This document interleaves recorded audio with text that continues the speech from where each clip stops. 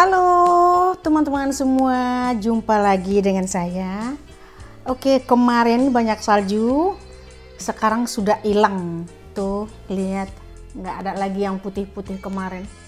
Tuh udah hijau kembali. Kemarin banyak putihnya karena salju turun. Baik teman-teman, seperti biasa kita akan berbincang. Nah, bincang kita sekarang adalah menikah. Kalau Anda mau menikah dengan bule, dengan orang barat, ingat yang tiga ini. Ya, ingat yang tiga ini. Mohon diperhatikan. Satu, nah, kadang karena Anda sudah punya pacar bule ya, kadang ada rasa senang, pasti rasa senang pasti ada, sehingga kadang tingkah kita jadi lain. Jadi beda tingkah kita dari yang biasa karena kita sudah merasa sudah lebih dari orang lain karena mau menikah dengan orang barat. Nah, itu tinggalkan. Lupakan itu sifat yang begitu. Ya jangan sampai sifat yang begitu ada. Biasa saja, ya, biasa saja. Kalau Anda mau menikah dengan orang barat, bersyukur aja karena Tuhan memberi jodoh yang baik buat Anda, ya. Karena memang kita selalu berpikiran kalau sudah menikah dengan orang barat hidupnya akan baik. Memang benar, itu memang benar. Ah, iya.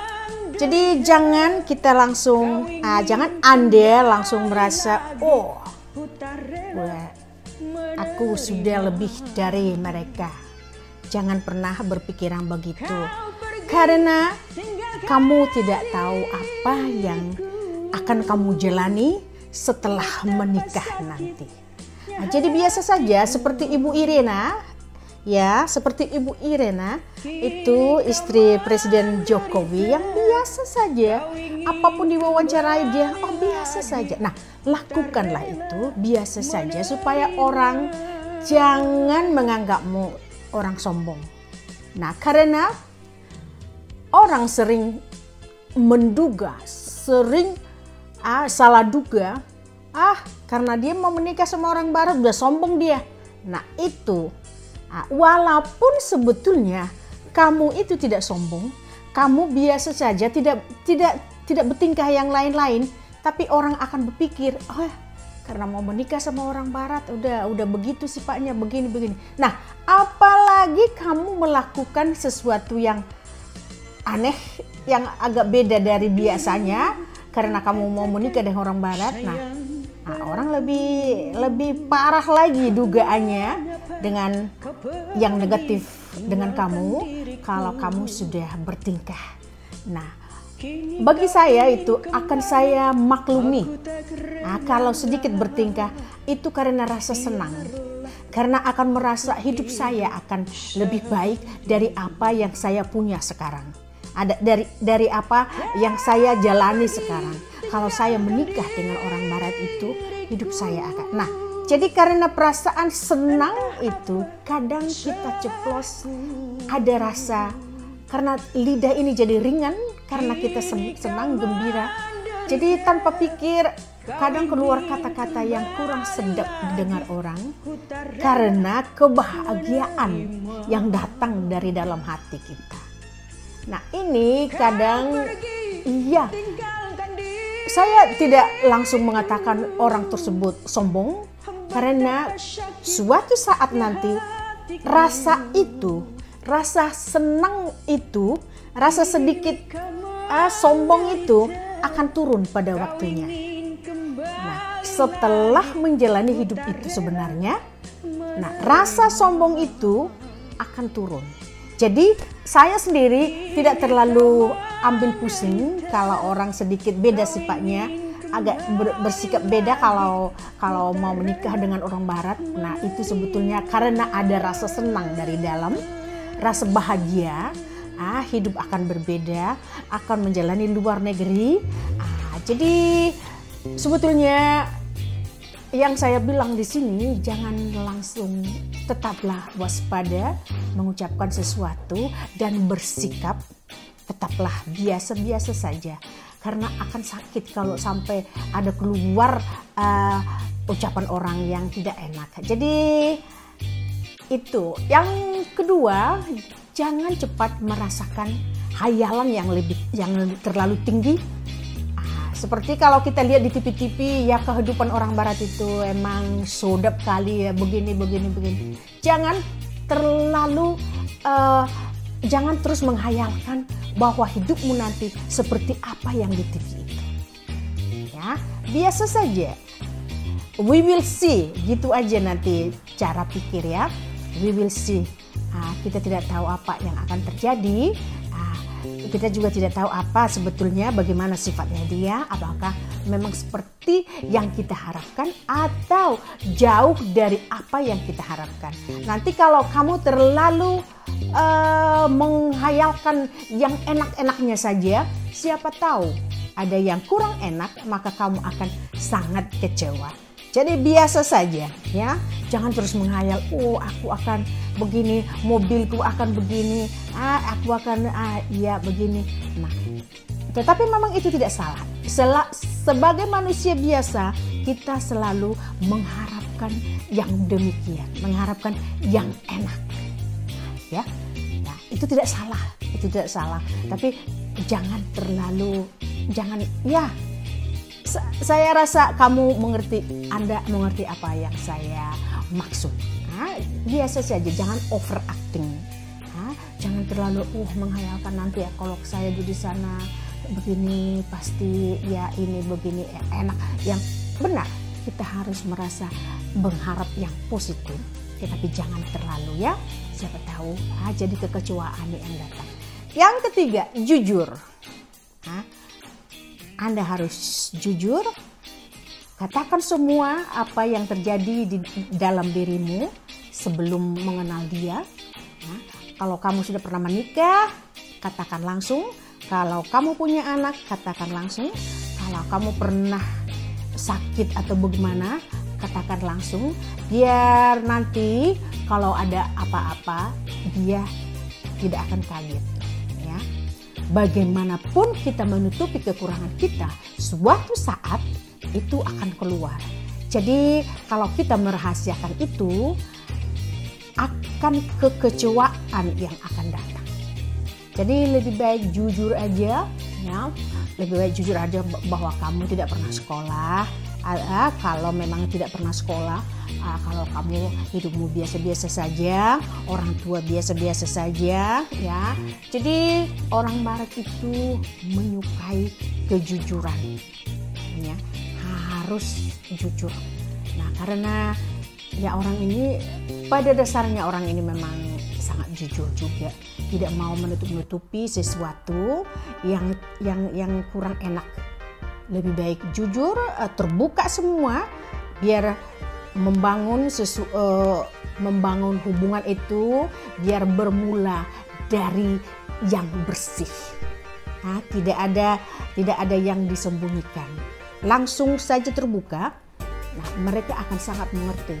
Nah, kita harus lihat kalau memang dia serius, apa pun seburuk apa pun pengalamanmu, seburuk apa pun hidup yang pernah kamu jalani, kalau dia memang cinta, dia tidak akan memperdulikan itu. Nah, dia akan membuat pertimbangan, nah, membuat pertimbangan yang matang. Apakah itu, apakah dia sanggup menerima bagaimana keadaanmu dulu?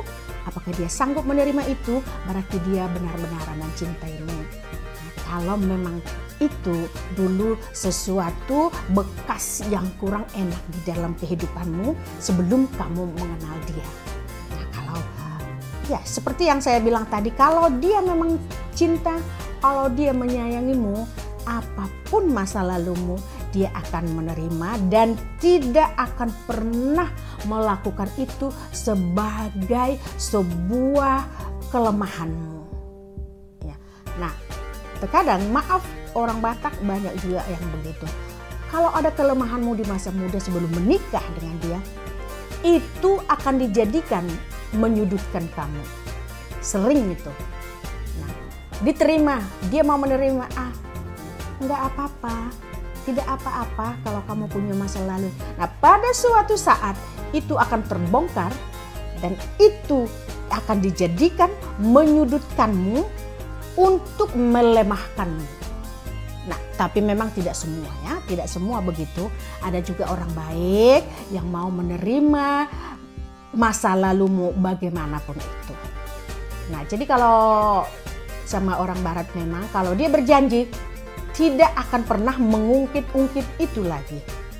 Ya, kalau dia sudah menerimamu apa adanya, tidak akan pernah mengungkit masa lalu yang telah kamu ceritakan kepada dia, yang telah kamu minta pengertiannya. Kalau kamu menceritakan secara jujur, berarti kamu sudah menginginkan pengertian, meminta pengertian yang dalam dari dia, supaya menerimamu apa adanya. Nah, kalau dia tidak mau menerima, nah, berarti hubungan tidak akan dilangsungkan. Jadi dari situ juga kita akan lihat bagaimana sikap dia menyikapi ceritamu ya, mas, menyikapi masa lalumu, apakah dia menerima, apakah tidak. Nah, di situ kamu akan bisa melihat dari raut wajahnya, dari tingkahnya ataupun dari ucapannya sendiri. Biasanya orang barat itu selalu jujur kalau dia tidak suka menerimamu setelah jujur menceritakan masa lalumu, dia akan langsung mengatakan dia tidak setuju dan dia tidak akan melanjutkan hubungan kalian. Nah, itu. Tetapi biasanya orang ini sangat bijaksana. Sangat bijaksana. Ah, dan ah itu kan sudah masa lalu. Ah, yang penting kalian saling mengerti dan saling mencintai satu sama lain, masa lalu itu adalah masa lalu. Setiap manusia mempunyai masa lalu, hanya saja taraf masa lalu itu ada yang kurang baik, ya, ada yang ya sedang-sedang elok, yang tidak kurang sedap. Tetapi itu kalau kamu baik, ya, semua kesalahan-kesalahan masa lalu itu akan terobati kalau kamu memang bertingkah baik ya tunjukkan bahwa dirimu itu tidaklah sejelek apa yang pernah kamu jalani. Nah, setiap umur, ah, setiap tahap, ah, setiap tahap uh, umur kita ada ada juga tahap-tahap sedikit nakal ya waktu muda kita sedikit nakal itu itu itu sangat biasa. Itu proses perjalanan hidup di masa muda dan masa tua. Nah, setelah itu kan segalanya akan berlalu dan kita akan kembali ke jalan yang benar. Nah, itu hanya itu saja. Jadi pertama-tama ya harus jujur ya tiga tadi itu ya jangan janganlah terlalu sombong ya jangan terus oh aku akan begini aku akan nah, jangan jangan mengharap yang muluk-muluk dulu.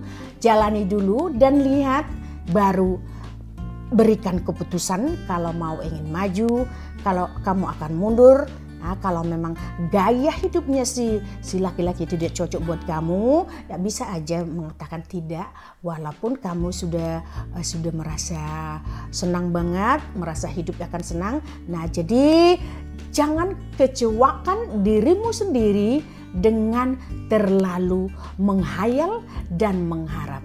Baiklah teman-teman, saya Melita sudah putar. Sampai jumpa kembali dengan konten yang lain. Bye-bye. Ciao ciao, Horas Jalagabe.